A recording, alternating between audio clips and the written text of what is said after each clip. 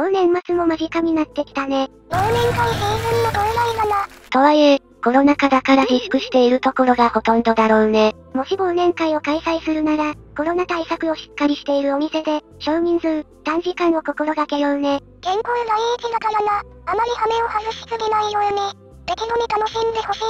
そうだね。それじゃあ今回は米国の第6世代戦闘機デジタルセンチュリーシリーズが、10年早く予定より飛行したことについて解説していくよ。それじゃあ行ってみよう。日本の F3 ステルス戦闘機の開発が進められている中、同じくアメリカでは10年も前倒しで第6世代ステルス戦闘機の開発を進めているよ。すでに秘密裏で技術実証機のテストも行われたアメリカに若干の焦りを感じているね。第5世代ジェット戦闘機である F22 や F35 の後継機として、アメリカで開発が始まっている第6世代戦闘機の初飛行までは、早くても10年先と言われていたんだ。しかし2020年9月15日に米空軍のウィル・ローバー調達開発担当機関補が、米空軍の S22A の後継機である第6世代戦闘機、MGAD ネクストジェネレーションエアドミネンス2世代制空戦闘機の技術実証機を、すでに飛行させたと公表したぜ。さすがにアメリカは仕事が早いよね。世界では第6世代戦闘機の開発をすでに各国で進めているんだけど、アメリカでも初飛行できるのは早くても2030年頃だろうと予想されていただけに、このローパー時間補の発言は大きな波紋を呼ぶことになったんだよね。その技術実証機は実際には公開されておらず、またローパー時間補が開発メーカーや性能などを全く公表せず各メディアが真実を取材していたが、ここ最近は次々に発言の信憑性が高くなったと報道し始めたってわけなんだ。軍事機密に当たるだろうから、詳細を公表できないのは当然かな。アメリカで有名な軍事専門サイトであるウォリアー名分の11月9日の記事では、同編集長のクリス・オズボーン氏がその理由を推測する談話が掲載されており、デジタルエンジニアリングが発達したことによってバーチャル上での試作機の設計図面における再現が可能となったため、そこで機体テストと解析を行うことができ、技術実証機の完成が予想より早まったのだろうと言われているよ。要するに今までは戦闘機の開発においてそれぞれの段階で実際にモックアップを作成し、試作機によるテストを繰り返しやっていたが、バーチャルコンピューターの発達によってエンジニアリングや試作機製作の精度が上がり、実機テストを最小限に済ませることができるようになり開発期間の短縮に成功したということだな。バーチャルコンピューターによる戦闘機開発方式の論文などを発表推進してきたのがローパー時間補であり、その方式に米空軍がゴーサインを出してからわずか1年で技術実証機を飛行させたということになるね。いろんなことがどんどん近代化してきてるね。技術の進歩をひしひしと感じるよ。これに対して航空評論家の石川淳一氏がおそらく米空軍のゴーサインがある前には、ローパー氏が主張する開発方式で基本設計は完了していて、その後1年間は技術実証機の製造期間となり、ロッキード・マーチン社の先進開発計画部門スカンクワークスも、ボーイング社の同部門ファントムワークスが結構前から共同作業をしていて、今回の機体を合作した可能性があると言っているよ。すでに運用されている第5世代戦闘機は敵レーダーに発見されにくいステルス性性能を備えていて、アフターバーナーなしで超音速巡航が可能な大出力エンジンを備えている戦闘機となっているぜ。米空軍では F22、F35 という2機だけであり、世界を見ても他に運用されているのはロシアのスホイ57と中国の J20 と全てを合わせても4機しかないんだ。米空軍は F22A の後継機を開発する際にどのようなスペックを持たせるべきかと議論しており、F35 の能力向上だけで十分ではないかとの意見も出て方向性を定めることができていなかったらしいよ。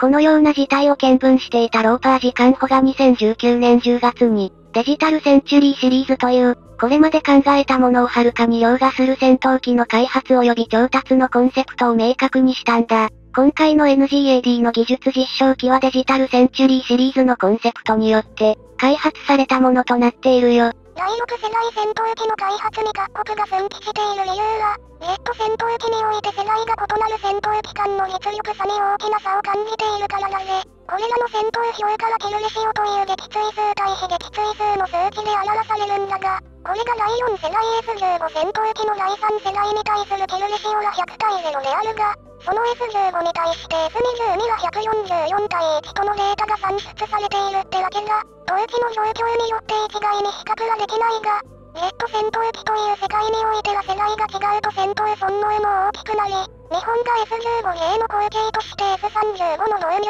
を急ぐ理由も同様となっているぜ。開発中の第6世代戦闘機は、従来のステルス性能や AI による情報網、バーチャルリアリティ、MUMT 有人機と無人機の混合変態などの、技術をより効率化させ複合されたものなんだよね。しかも双発エンジンの機体で、最高速度マッハ2以上で超音速巡航が可能であり、形状ステルスでメンテナンスへの負担を減らし、指向性ビーム兵器への対応としてハイパワーエンジンによる高性能発電機を採用していることが条件だと言われているよ。航空ジャーリストである島田久則氏は、さらに高度なステルス性能を持たせることによって中国の防空防衛網を破り、単独で敵陣を攻撃できる能力と航続距離を発揮するものとしていて、ボーイング社が発表しているイメージ画像では大きく盛り上がっている操縦席後方スペースに AI を搭載する可能性と、ステルス性向上のために多数のミサイルを胴体内の断層に格納するために機体がかなり大型となるだろうと指摘しているね。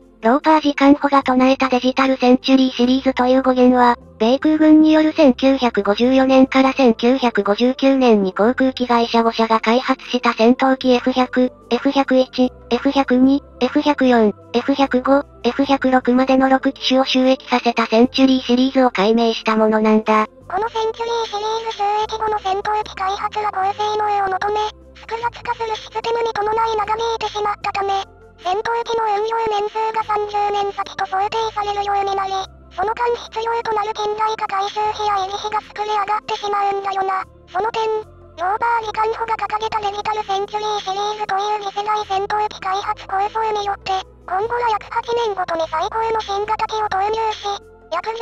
年ごとに退役させるというサイクルで、トータルの軍事費を10%低減させるとの方向性が算出されたようだぜ。軍事費は高額だからね。少しでも削減できるならもっといろんなことにお金を使えるようになるってわけだ。この画期的なデジタルセンチュリーシリーズ構想にはベンチャー企業なども参画を許されているよ。最近話題のテスラ社の創始者であるイーロン・マスク氏が創業した、スペース X のロケットが、米空軍の衛星打ち上げ用ロケットとして採用されたように、これまで軍事費を独占していた米国軍需産業に革命を起こす企業も出てくるだろうね。それじゃあ今回はこの辺で、よかったら、チャンネル登録してね。いつもありがとうございます。ありがとうね。Thank you. ありがとう。ありがとうね。Thank you.